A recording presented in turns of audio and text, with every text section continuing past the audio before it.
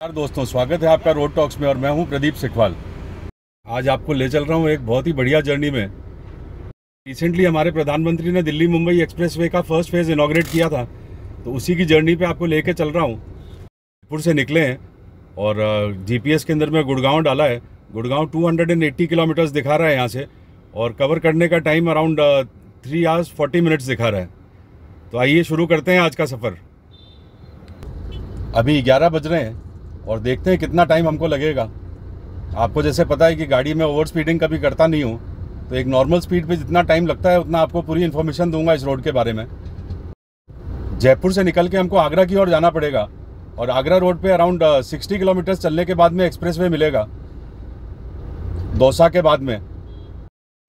आप सभी से अनुरोध है कि इस वीडियो को पूरा एंड तक देखिएगा और शेयर लाइक और सब्सक्राइब ज़रूर करिएगा अगर आप चैनल पे नए हैं तो। और अपने वैल्यूबल कमेंट्स भी देना मत भूलिएगा। आप कमेंट्स देते हैं तो मुझे मोटिवेशन मिलता है नए वीडियोस बनाने का। और साथ साथ में आप ये भी बताइए कि आप क्या देखना चाहते हैं तो वो भी मैं आपको दिखाने की कोशिश करूँगा। ये पहला टोल आ गया है, और ये टोल प्राइवेट गाड़ियों के लिए लागू नहीं है, ये ओनली कमर्शियल व्हीकल्स को टोल देना पड़ता है यहाँ पे। तो ये हमारे लिए फ्री है, और आगे पुलिस की चेकिंग भी है, नाकाबंदी है। चेक कर रहे हैं सबको। अप्रॉक्सीमेटली 35 मिनट्स लगे हैं घर से नेशनल हाईवे तक पकड़ने के लिए और अब आगरा रोड पर पहुँच चुके हैं। और अभी आगरा रोड की टनल आपको दिखाता हूँ। और अब ये टनल क्रॉस कर रहे हैं। बहुत ही ज़बरदस्त टनल बनाई है।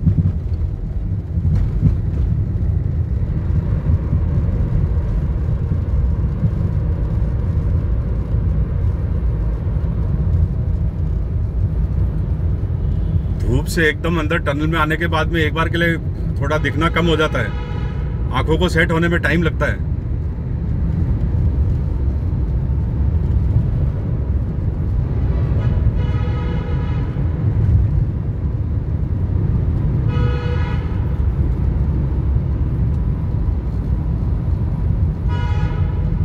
जीप वाले को चैन नहीं है, पै पै पै पै करते हुए जा रहा है आगे।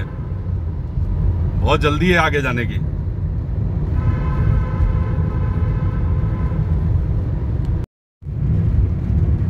आगरा तक भी ये फोर लेन है, बड़ी अच्छी रोड है। लेकिन हमको पूरा आगरा तक जाना नहीं है। 60 किलोमीटर पे दौसा आता है। दौसा के बाद से ही लेफ़्ट टर्न ले लेंगे। जगह जगह इंटरसेप्टर्स लगा रखे हैं। और जो भी 80 से ऊपर चल रहा है, उनका चलान हो रहा है।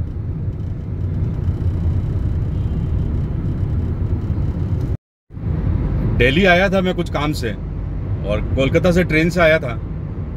तो जब दिल्ली तक आ ही गया तो सोचा कि गाँव का और जयपुर का एक चक्कर काट लूँ। तो मेरा एक कज़न है गाड़ी तो इस बार मैं लाया नहीं साथ में। तो उसकी गाड़ी मैंने बोरो कर ली। तीन चार दिन गाँव में रह गया एक दो दिन जयपुर रह गया और अब वापस कोलकाता की तरफ़ जा रहा हूँ। तो सोचा कि दिल्ली आपको एक्सप्रेस हाईवे दिखा दूँ, उसके बाद ट्रेन में और इस ट्रिप पे ज़्यादा ब्लॉगिंग करी नहीं वीडियो बनाए नहीं। ये एक इंपॉर्टेंट जर्नी थी कि एक्सप्रेस वे अभी नया ही खुला है ये। तो आपको ये तो दिखाना बनता ही था। ब्रेकफास्ट करके निकला नहीं हूँ घर से। और इस बार राजस्थान आया तो कचौड़ी, समोसा, मिर्ची बड़ा ये सब कुछ खाया नहीं। तो निकलते निकलते मिर्ची बड़ा ले लिया और एक लस्सी ले ली है। तो रास्ते में जहाँ खाली सड़क आएगी, वहाँ पे मिर्ची बड़ा और लस्सी का ब्रेकफास्ट कर लेंगे। पुलिस की चेकिंग बहुत है इस रोड पे। और आप, अगर आप इस रोड पे आते हैं तो अपनी स्पीड लिमिट का ध्यान रखिए और अपने पेपर सारे ओके रखिए। हर एक डेढ़ किलोमीटर, दो किलोमीटर में पुलिस रोकती है चेक करती है। जयपुर से निकल के अप्रोक्सीमेटली 25-30 किलोमीटर आगे आ गए हैं और आज का पहला टोल भी आ गया है।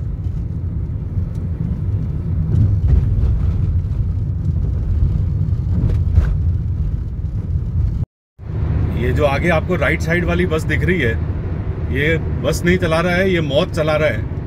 इतना रफ चला रहा है, जयपुर से जब से निकले तब से ये बस हमारे साथ में है। और कम से कम चार पाँच बार मेरे को ओवरटेक कर चुका है ये। और उसके बाद में ये कई सवारियाँ लेने के लिए रुकता है और फिर वापस ओवरटेक करता है। ये जो एग्जैक्ट सामने चल रही है, ये नहीं, इसके आगे एक और जा रही है। और ये ज़रूर किसी ना किसी को कभी मारेगा ये। और कंटिन्यूस हॉन्किंग कर रहा है। कभी लेफ़्ट कभी राइट एकदम उड़ाते हुए लेके जा रहा है।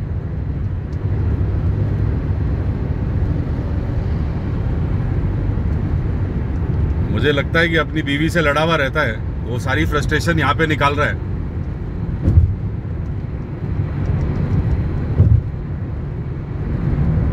लेकिन राजस्थान स्टेट ट्रांसपोर्ट को भी ध्यान देना चाहिए कि अगर उनके ड्राइवर जैसी लापरवाही करते हैं तो उनको कुछ एक्शन लेना चाहिए।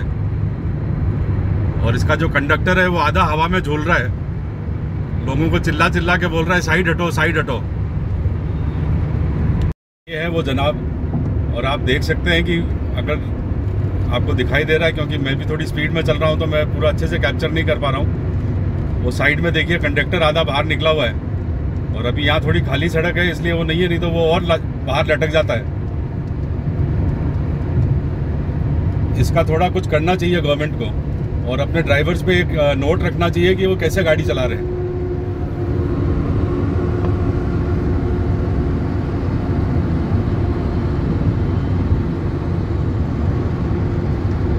थोड़ा कॉन्शियस हो गया है मेरे को रिकॉर्डिंग करते हुए देख के।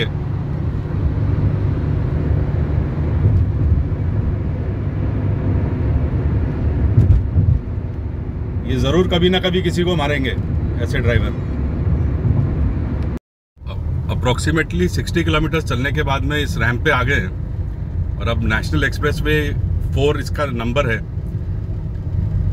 इस पे चढ़ेंगे। और यहाँ का ये टोल आ गया, यहाँ हमारी एंट्री रजिस्टर होगी। यहाँ टोल नहीं कटेगा, जहाँ हम एग्जिट करेंगे, वहाँ टोल कटेगा।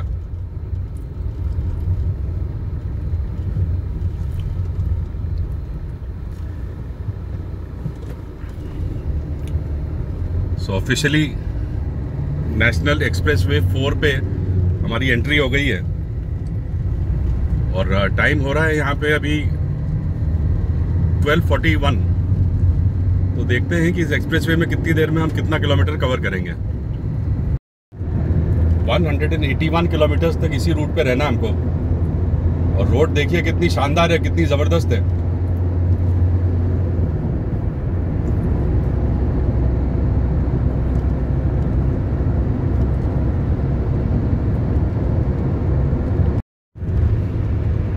हंड्रेड एंड ट्वेंटी की स्पीड लिमिट है इस रोड पे। और मेरा कुछ मानना है कि हंड्रेड से ऊपर गाड़ी नहीं चलानी चाहिए। कभी कभार कोई टेस्टिंग के लिए अगर आपने ऊपर नीचे कर लिया वो अलग बात है। तो इसलिए मैं इसको हंड्रेड पे ही चलाऊँगा इस हाईवे पे। और एट लेन हाईवे है ये। चार लेन इस तरफ़ है चार लेन उस तरफ़ है। बीच में डिवाइडर भी बहुत आ, अच्छा बड़ा सारा छोड़ रखा है। और प्लांटेशन कर रखा है अभी प्लांट्स छोटे हैं।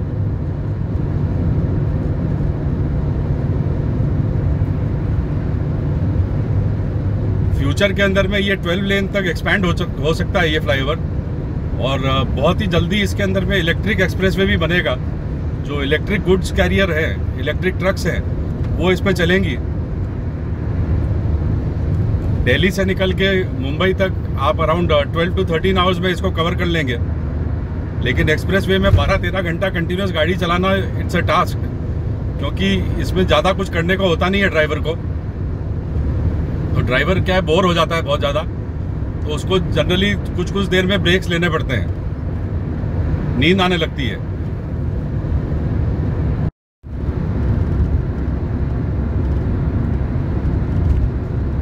लेन्स के लिए बहुत अच्छे साइन बोर्ड्स लगे हुए हैं।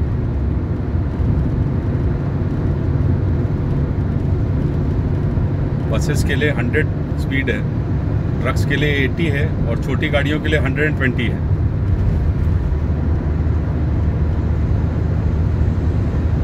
One zero double three toll free number है, इमरजेंसी नंबर है यहाँ का। इस हाईवे में अगर कोई भी आपको दिक्कत हो, परेशानी हो तो आप one zero double three dial कर सकते हैं और आपको असिस्टेंस मिल जाएगी यहाँ से। इतने बढ़िया एक्सप्रेस वे में आ जाएँ। और जब ब्रेकफास्ट नहीं किया हुआ हो, और जयपुर के फ़ेमस रावत से मिर्ची बड़े लाए हुए हों तो वो मिर्ची बड़े को इस एक्सप्रेस वे में खाने का मज़ा ही अलग है। चीयर्स हाँ हाँ हाँ। स्वादिष्ट।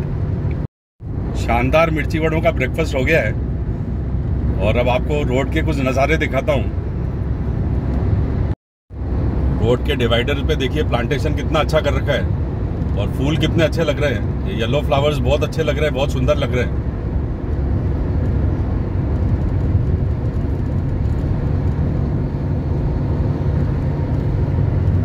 इस पूरी रोड में आप सर्विलेंस के अंडर रहते हैं। हर जगह कैमराज लगे हुए हैं स्पीड डिटेक्टर्स लगे हुए हैं इंटरसेप्टर्स लगे हुए हैं। और जब मैं ब्रेकफास्ट कर रहा था तो एक रेस्ट एरिया सर्विस एरिया भी आया था यहाँ पे। हालाँकि मुझे ऐसा लगा नहीं कि वो ऑपरेशनल है, लेकिन काम है चालू है वहाँ पे, बना हुआ है। आगे आने वाले कुछ दिनों में ऑपरेशंस में आ जाएगा।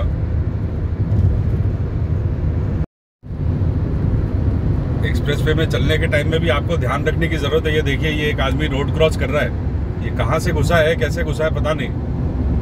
और बहुत ही मस्ती से लहराते हुए चल रहा था। तो एक्सप्रेस वे में आप जब भी गाड़ी चलाइए तो एकदम केयरलेस होकर गाड़ी मत चलाइए। डेली यहाँ से 227 किलोमीटर्स बता रहा है।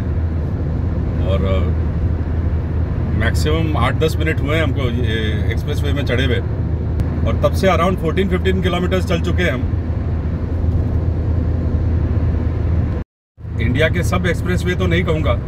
ये ज़रूर कहूँगा कि ऑलमोस्ट सारे एक्सप्रेस वेज पे गाड़ी चला चुका हूँ। और एक बार या दो बार नहीं, चार चार, पाँच पाँच बार चला चुका हूँ। और यही एक बाकी रहा हुआ था और एक महासमृद्धि मार्ग महासमृद्धि मार्ग। बड़ा डिफ़िकल्ट है बोलना। महासमृद्धि मार्ग जो है नागपुर से शिरडी के लिए, जो अभी, वो भी रिसेंटली चालू हुआ है, वो भी बाकी है मेरा। तो बहुत जल्दी उसको भी पूरा टेस्ट करेंगे। और ये दिल्ली से बॉम्बे जब पूरा कंप्लीट हो जाएगा होपफुली नेक्स्ट ईयर तक कंप्लीट हो जाना चाहिए। तो इसमें पूरा ट्रिप करेंगे दिल्ली से बॉम्बे। अभी भी बहुत सारा काम बाकी है इस रोड पे। और काम प्रगति पे भी है, काम चल रहा है। और ट्रैफ़िक अच्छा खासा है। ऐसा नहीं है कि बिल्कुल खाली पड़ा हुआ है। गाड़ियों का मूवमेंट है इस रोड पर। और आने वाले टाइम पे बहुत बिज़ी रोड होने वाली है ये।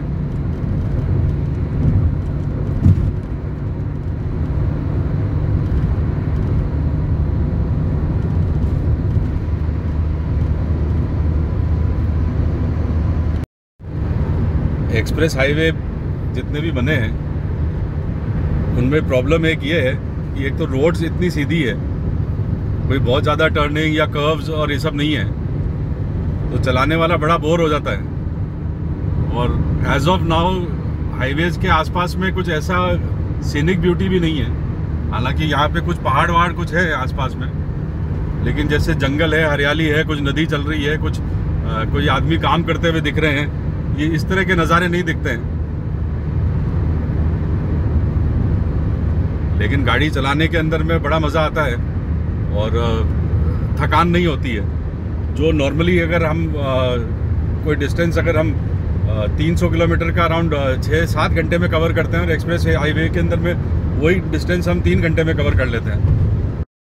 माउंटेन्स देखिए कितने ज़बरदस्त लग रहे हैं।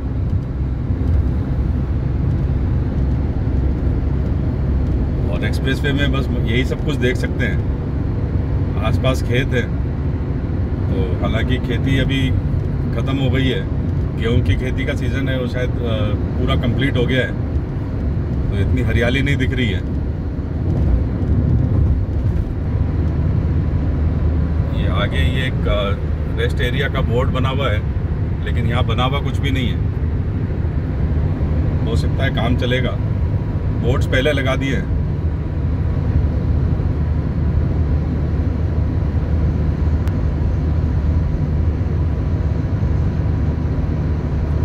दिल्ली 206 किलोमीटर है यहाँ से।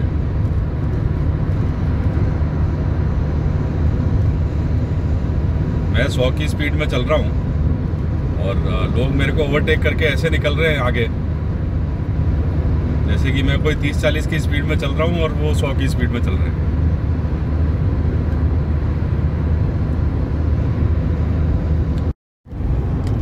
पहाड़ देखिए कितना ज़बरदस्त लग रहा है। जैसे कुछ रॉक्स रखे हुए हैं इसके ऊपर में।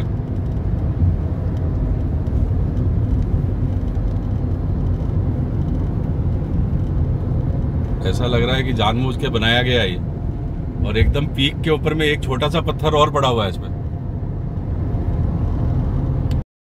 एक चीज़ मैंने अभी नोटिस करी है कि अनलाइकली जितने भी एक्सप्रेसवे हैं तो दोनों लेन्स को डिवाइड करने के लिए जो बीच के डिवाइडर होते हैं, उनमें भी रेलिंग्स लगी हुई होती है। इस एक्सप्रेस वे में अभी लगी नहीं है। हो सकता है बाद में लगाएँगे, लेकिन अभी है नहीं यहाँ पे। और जितने भी प्लांट्स लगे हैं, उनको वाटरिंग करने के लिए ड्रिप इरिगेशन लगा रखा है, ताकि सब प्लांट्स को एकदम टाइम टू टाइम पानी भी मिल सके और वाटर वेस्टेज भी नहीं हो।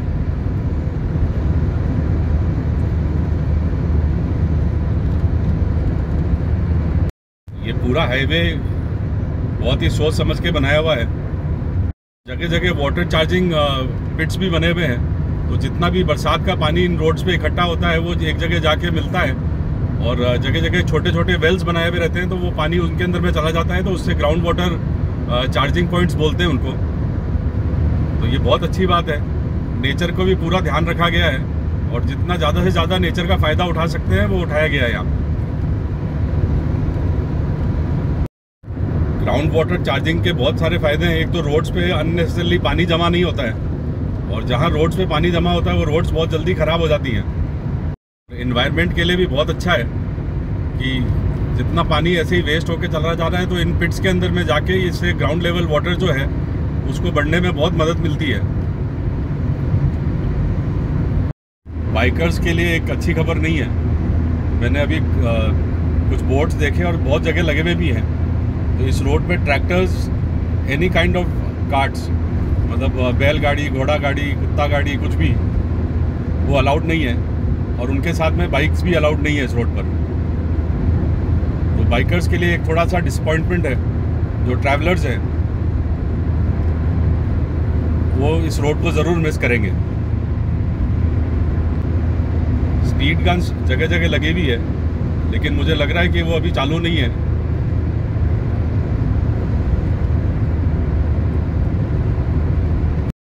कुछ दिन पहले मैं एक आर्टिकल पढ़ रहा था तो जब से ये एक्सप्रेसवे चालू हुआ है, उसके बाद में जो पुराना जो हाईवे था, जयपुर दिल्ली हाईवे उसमें ट्रैफ़िक थोड़ा कम हो गया। अराउंड ट्वेंटी थर्टी परसेंट की कमी आई है उस ट्रैफ़िक में। और और जब ये रोड पूरा बॉम्बे तक बन जाएगा, जो पुराना हाईवे है बॉम्बे जाने के लिए, उस पर भी बहुत ज़्यादा ट्रैफ़िक कम हो जाएगा, मुझे लगता है ऐसा। क्योंकि अभी जितनी भी गाड़ियाँ बॉम्बे जा रही हैं वो दिल्ली से जयपुर जयपुर से अजमेर, किशनगढ़, वहाँ से उदयपुर उदयपुर से अहमदाबाद, ये रोड पकड़ के जाती है। वो काफ़ी लंबा रूट है वो, और टाइम बहुत ज़्यादा लगता है। तो जब ये कंप्लीट हो जाएगा तो 12 से 13 घंटे क्लेम कर रही है गवर्नमेंट कि 13 घंटे में छोटी गाड़ियाँ पहुँच जाएगी। तो उस रोड पे ट्रैफ़िक की बहुत कमी आने वाली है। आज का प्लान यही है कि अभी दिल्ली पहुँचते हैं। वहाँ पे कुछ टाइम थोड़ा जल्दी पहुँच जाऊँगा तो कुछ इधर उधर घूमूँगा थोड़ा, आधे घंटे। और कज़न को गाड़ी रिटर्न करनी है तो उसको गाड़ी रिटर्न करके, और फिर वो मुझे न्यू दिल्ली स्टेशन छोड़ देगा। और वहाँ से मैं दुरंतो ट्रेन पकड़ूँगा, और दुरंतो से मैं हावड़ा की ओर निकलूँगा। ये जो ट्रिप मैं आपको दिखा पा रहा हूँ special thanks to Sandeep Ojha and Kunal Vyas दोनों मेरे कज़न्स हैं, मेरे भाई हैं, छोटे भाई हैं। उनकी गाड़ी के अंदर में मैं घूम रहा हूँ तो उनको गाड़ी रिटर्न करनी है। इसीलिए थोड़ा सा मार्जिन पीरियड लेकर निकला हूँ कि ड्राइवर कहाँ मिलेगा। तो कहीं सेंटर पॉइंट में मिलके उसको गाड़ी दे देंगे वापस। और उनका ही ड्राइवर मुझे हावड़ा याद आ रहा है। उनका ही ड्राइवर मुझे न्यू दिल्ली स्टेशन छोड़ देगा। तो वहाँ से मैं तुरंत पकड़ लूँगा, सियालदा के लिए। अगर कोशिश करूँगा, क्योंकि पिछले बार आते वक्त कुछ पैसेंजर्स थे और वो ज़्यादा कैमरा के सामने आना नहीं चाहते थे कैमरा शाही थे। तो मैंने इसलिए ट्रेन की जर्नी शूट नहीं करी थी। कुछ एक शॉट्स लिए हैं, वो मैं कहीं ना कहीं बीच में डाल दूँगा। और अभी देखता हूँ कि अगर खाली रहा या अगर पैसेंजर्स को पैसेंजर्स अगर कंफर्टेबल रहे तो मैं ये जर्नी भी डालूँगा। एक तो ये टेली मार्केटिंग वालों ने नाक में दम कर रखा है। पता नहीं कहाँ से नंबर मिल जाते हैं। और जिस अपार्टमेंट में मैं रहता हूँ, वो अपार्टमेंट ख़रीदना चाहते हैं। रोज़ फ़ोन करते हैं।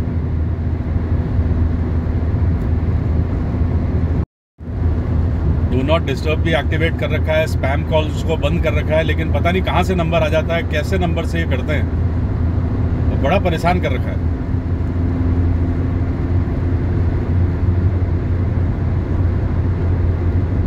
अगर आपको भी इस तरीके के कॉल्स आते हैं तो प्लीज़ कमेंट सेक्शन में बताइए। और अगर आपने इन कॉल से निजात पा ली है तो मुझे भी कोई आइडिया सुझाइए प्रभु, कि ये कॉल्स मेरे बंद हो जाएँ। Compare to other expressways इस एक्सप्रेस वे में ट्रैफ़िक अभी से ही अच्छा खासा है, और अच्छा मूवमेंट है इसके अंदर में। छोटियों गाड़ियों का भी और कमर्शियल व्हीकल्स का भी ट्रकों का भी। हाईवेज पे देखिए, ये एक बहुत ही रेयर गाड़ी मिली है मुझे। जनरली आपको हाईवेज और एक्सप्रेसवेज में ईवी e चलती हुई नहीं दिखती है। और ये भाई ईवी e चला रहे हैं। अभी ज़्यादा टाइम नहीं है मेरे पास में। आई व ट्रेन टू कैच अदरवाइज़ इनसे रुक के इनका एक्सपीरियंस लेता, आपको दिखाता। बड़ी मस्ती में चल रहे हैं। और यहाँ देखिए आप, ये कुछ रोड पे हेलीपैड्स भी बने हुए हैं।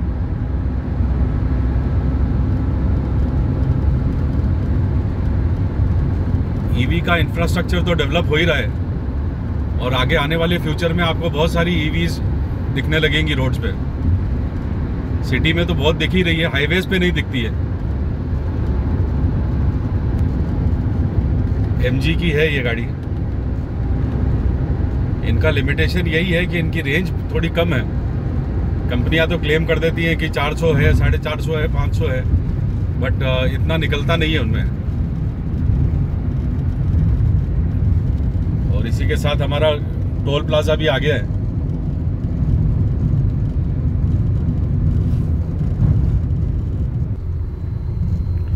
क्योंकि ये गाड़ी मेरी नहीं है तो इसके टोल के मैसेजेस मेरे पास आते नहीं है।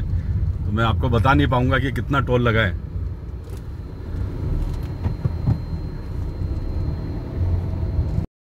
जयपुर से गुड़गांव पहुँचने में अप्रॉक्सीमेटली मेरे को साढ़े तीन घंटे लगे हैं। और इसके अंदर में जयपुर का ट्रैफ़िक भी मैं काउंट कर रहा हूँ और गुड़गांव में पूरे ट्रैफ़िक में अंदर नहीं जा रहा हूँ तो इसलिए अप्रॉक्सीमेटली बता रहा हूँ। और मैंने स्पीड भी कहीं हंड्रेड से ऊपर मैं गया नहीं और एक दो जगह मैं रुका भी हूँ तो वो सब साढ़े तीन घंटे में काउंटेड है। यहाँ से हम एग्ज़िट ले रहे हैं इस एक्सप्रेसवे का। बहुत ही अच्छा एक्सपीरियंस रहा। और बड़ा मज़ा आया गाड़ी चलाने के लिए। अरे चाची। Continue on National Highway 248A for 10 kilometers. ये चाची बड़ी बोलती है बीच बीच में। सो फाइनली एक्सप्रेसवे की ये जर्नी यहीं एंड करते हैं। और जैसा कि मैं बार बार आपको बोल चुका हूँ कि ये गाड़ी मेरी नहीं है तो हैंड्स फ्री माउंट्स और ये सब लगे हुए नहीं है इसमें गोप्रो के माउंट्स नहीं लगे हुए हैं। तो ट्रैफ़िक के अंदर में, मैं वीडियो फोटोग्राफी करना नहीं चाहता हूँ, गाड़ी चलाते हुए। और कोई और है भी नहीं मेरे साथ में कि जो मेरे लिए फ़ोटोग्राफी कर दे। तो जहाँ जहाँ मौका मिलेगा, वहाँ आपको वापस दिखाऊँगा। और आशा करता हूँ आपको ये वीडियो पसंद आया होगा। अगर आपको पसंद आया तो प्लीज़ डू लाइक शेयर और चैनल में अगर नए हो तो सब्सक्राइब करना मत भूलिएगा। और अपने वैल्यूबल कमेंट्स भी ज़रूर दीजिए। और कुछ एक क्वेश्चंस मैंने आपको पूछे, उसके जवाब दीजिए, उनका फीडबैक दीजिए। और फ्यूचर में आप कहाँ घूमना चाहते हैं? और कहाँ चाहते हैं कि मैं आपको लेके चलूँ, वो भी ज़रूर बताइएगा। तो मैं पूरी कोशिश करूँगा आपको वो जगह दिखाने की। Thank you thank you so much for watching have a nice time